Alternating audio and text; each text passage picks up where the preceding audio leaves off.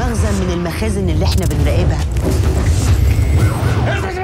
اتعمل مزاد كبير اتباعت الحمامة الواحدة بنص مليون جنيه. طب إيه اتقبض عليهم؟ تقريبا كده الحمامة ضاعت.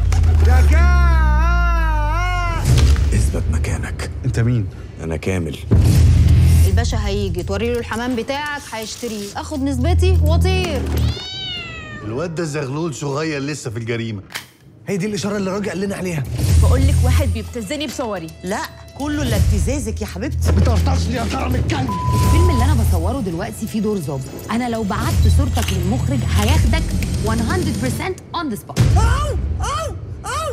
مهمتك يا كامل إنك تدب إيدك جوه سعيد تجيب لنا المعلومات اللي إحنا محتاجينها.